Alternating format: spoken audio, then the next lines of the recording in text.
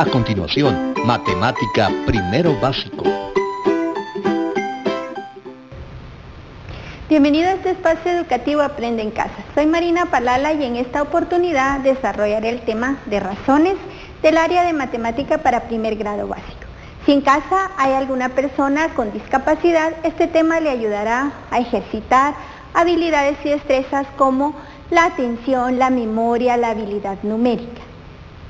Antes de empezar, quiero recomendarte que laves bien tus manos con agua y con jabón o las desinfectes con algún gel antibacterial o algún gel de alcohol. En esta oportunidad nos acompaña en lengua de señas Lourdes. Bienvenida Lourdes.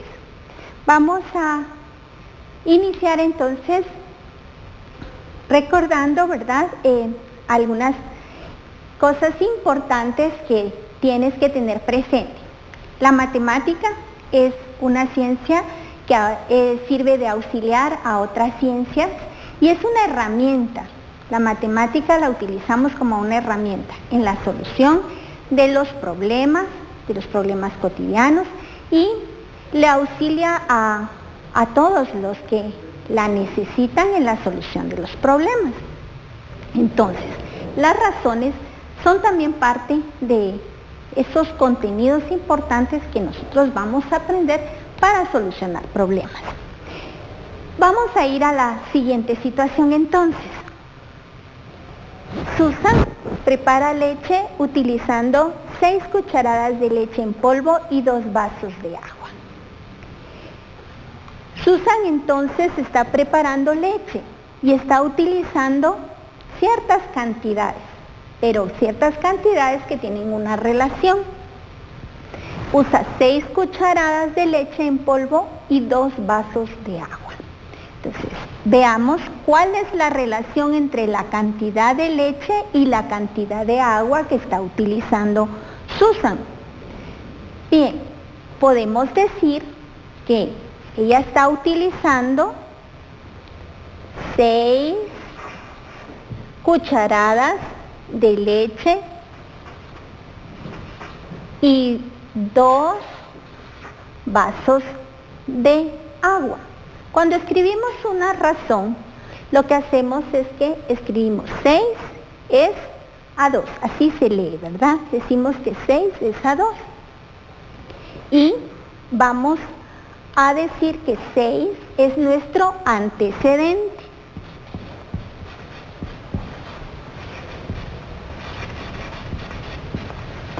Es nuestro antecedente. Y que 2 es nuestro consecuente.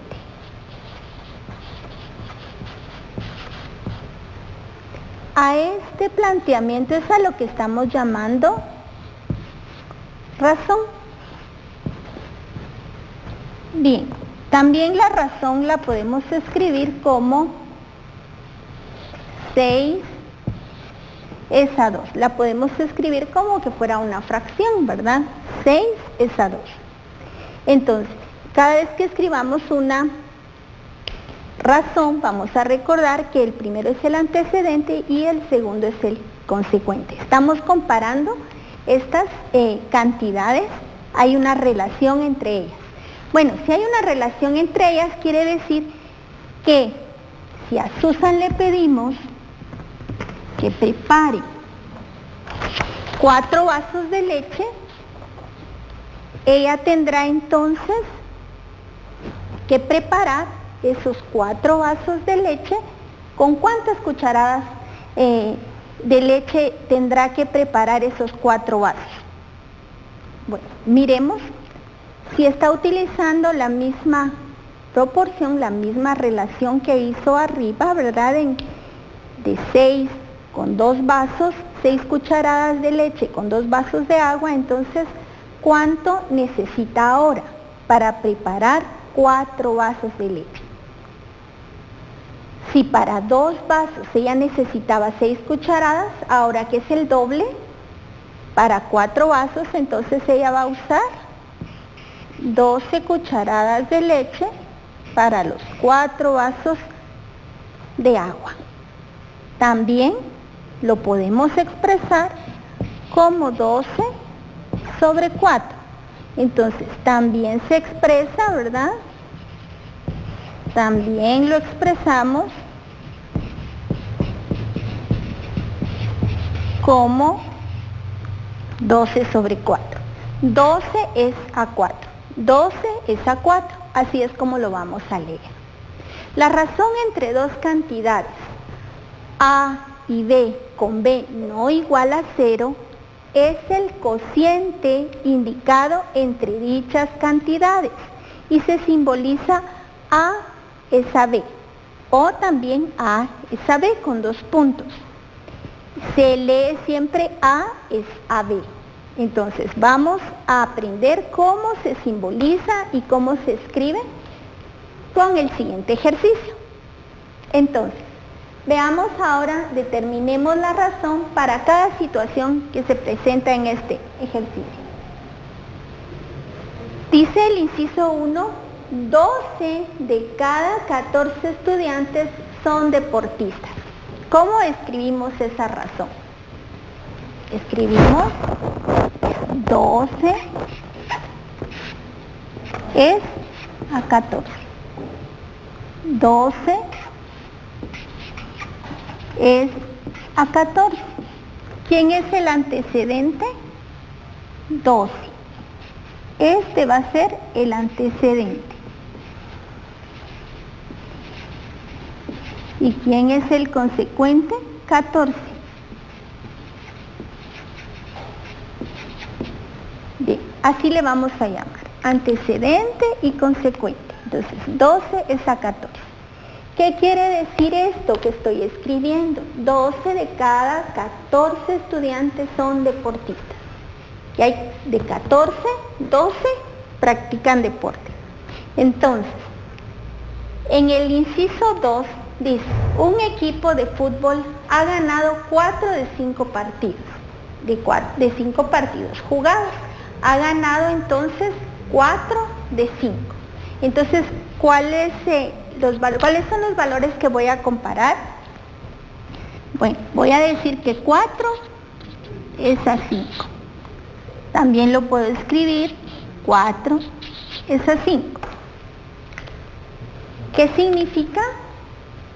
Que el equipo de fútbol ha ganado 4 de 5 partidos que jugó ha ganado 4 de 5. Puedo decir 4 es a 5. Ahora, veamos en el ejemplo 3. 8 de cada 10 personas botan la basura en el lugar correspondiente, en el lugar que corresponde. Entonces, 8 de cada 10. ¿Cómo lo escribo? 8 es a 10 o también lo puedo escribir como 8 es a 10 en forma de fracción. ¿Qué significa lo que acabo de escribir? Que 8 de cada 10 personas botan la basura en el lugar que corresponde, en el lugar correcto. Espero que ustedes estén entre esos 8 que colocan la basura en su lugar, ¿verdad? Bien, veamos el ejemplo número 4. El ejemplo número 4 dice, Siete de cada diez personas siguen instrucciones. Entonces, siete de cada diez personas. Siete de cada diez personas siguen instrucciones. O lo puedo escribir también como siete es a 10. ¿Qué significa? Que siete de 10 siguen instrucciones. Entonces, espero que también tú estés entre esas siete personas que decide seguir instrucciones, que sabe que lo mejor es seguir las instrucciones, ¿verdad? Entonces, siete de cada diez lo escribo como siete es a diez, así se lee. Ahora, vamos a ver en la siguiente situación. Dice, ¿a qué rapidez constante se desplaza una joven en su bicicleta si recorre 15 kilómetros en 3 horas. la joven va en su bicicleta y hay una razón ahí que vamos a escribir que relaciona qué? la distancia que ella está recorriendo porque ella recorre 15 kilómetros. ¿Qué son esos 15 kilómetros? La distancia que recorre. Entonces, los 15 kilómetros son la distancia que está recorriendo esta joven, su bicicleta. ¿Cuánto tiempo ella tarda en recorrer esa distancia? Bueno, ella está tardando tres horas. Entonces, hay una razón ahí que voy a escribir y a esa razón le vamos a llamar rapidez constante.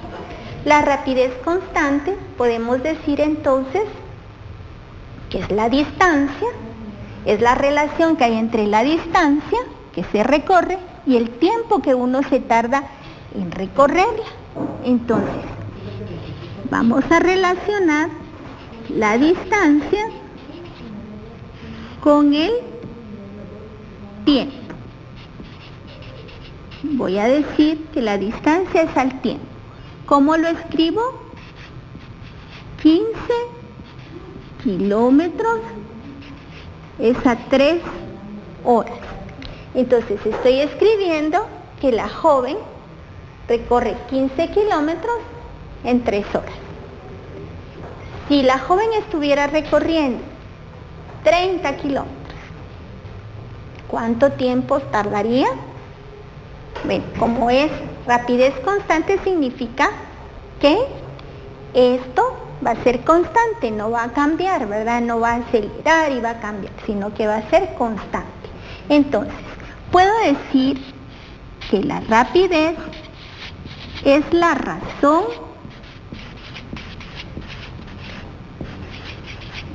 de una distancia, de una distancia a la que voy a llamar de en un intervalo de tiempo t. Entonces, la rapidez voy a decir que es la distancia relacionada con el tiempo. Entonces, la distancia es al tiempo, ¿verdad? Entonces, ahora tenemos ya nuestra relación distancia-tiempo que eso es la rapidez. Vimos en las ecuaciones, ¿verdad? Eh, cómo planteábamos una ecuación, entonces ahora estamos, esta razón, ¿verdad? Nos va a servir para encontrar un valor. Vemos que si recorre 15 kilómetros en 3 horas, podemos resolver entonces esta razón y encontrar el valor de razón. ¿Cuál será ese valor? de razón que tenemos aquí.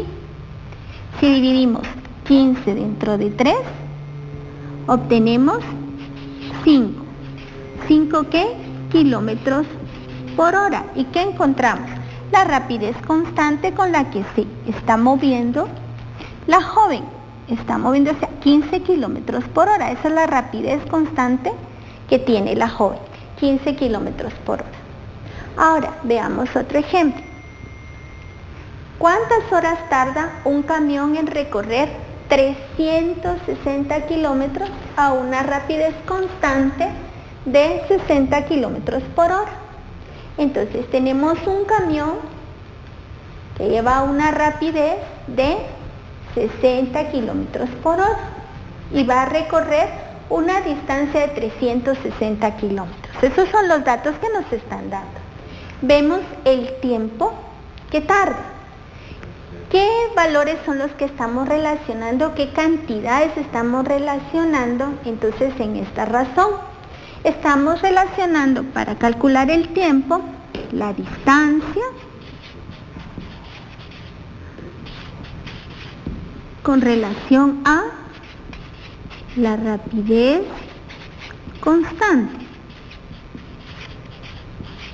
Eso es lo que estamos relacionando la distancia con la rapidez, constante. Entonces, decimos, ¿cuál es la distancia que está recorriendo el camión?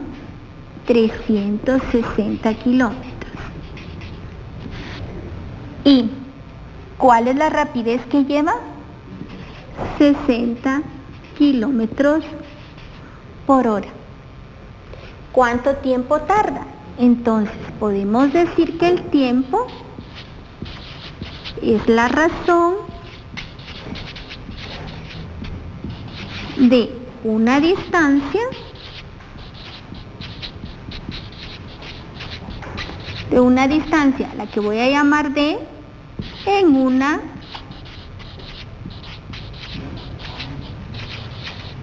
rapidez constante a la que voy a llamar R. Entonces el tiempo es la relación que hay entre la distancia y la rapidez. Bien, si encontramos el valor de esta razón, 360 eh, sobre, 60, sabemos que si tenemos ceros en el numerador y en el denominador es como que estuviéramos dividiendo ahora entre 10 a ambos, ¿verdad? Vamos a dividir entre 10 al numerador y al denominador y nos queda 36 sobre 6 y ahora 36 sobre 6, eso nos va a dar 6. 6 horas, porque los kilómetros, sobre los kilómetros nos dan la unidad y nos queda únicamente las horas. Entonces, el valor de la razón, el valor de razón que encontramos es 6 horas. Entonces vemos que el camión se tardará un tiempo de 6 horas en recorrer, el camión se está tardando 6 horas en recorrer esta distancia de 360 kilómetros y va a una rapidez constante de 60 kilómetros por hora. Si pensamos en la distancia que está recorriendo el camión, la distancia está en kilómetros.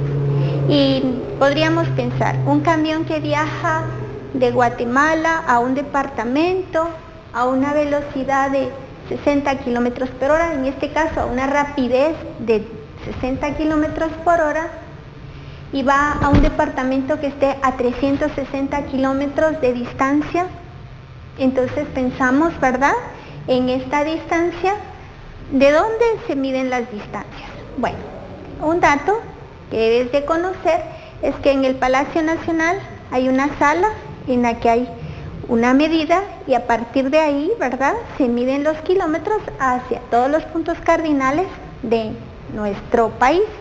Entonces, si vivimos en el kilómetro 18, ruta al Atlántico, o si vivimos en el kilómetro 16 al Pacífico, estamos tomando en cuenta que fue medido a partir de el Palacio Nacional hacia ese rumbo, ¿verdad? Entonces, es algo que debes saber, ¿verdad? Que los departamentos, ¿verdad? Están a determinada eh, distancia de nuestra capital con base en esa medición. Bien, ahora, eh, te recuerdo, ¿verdad? Que tienes que seguir practicando, que te debes de ejercitar y tienes que seguir practicando para que estos conocimientos puedan irse fijando, puedan, puedan ir siendo eh, más fáciles de aplicar. Entonces, lo que te recomiendo es que vayas haciendo los ejercicios en tu portafolio, que hagas todas las actividades que se te proponen y que las vayas haciendo en tu portafolio. Este ejercicio, ¿verdad? Lo que pretende es que tú encuentres ¿verdad? Eh, la razón que hay entre un kilómetro y los metros. Un kilómetro es a cuántos metros. ¿Cuántos metros tiene un kilómetro? 10 centímetros es a cuántos milímetros. Entonces, busca esas relaciones de medidas que se te están proponiendo y ve armando esas razones que más adelante nos van a servir para resolver otras situaciones. Bien, te recomiendo también que seas ordenado, que vayas colocando la fecha, los títulos de, los temas y los ejercicios que los vayas colocando con los incisos para que eh, lleves en orden tu portafolio y lo puedas presentar cuando te sea requerido. También te recomendamos que laves muy bien tus manos con agua y jabón. No olvides hacer eso. Después de que haces cualquier actividad hay que desinfectar muy bien tus manos con agua y jabón o lo puedes hacer también con algún gel o alcohol que tengas en casa. Y te recomendamos siempre, ¿verdad? Quédate en casa. En, el próximo, en la próxima clase, pues entonces estaremos ya resolviendo algunas razones. Hasta pronto.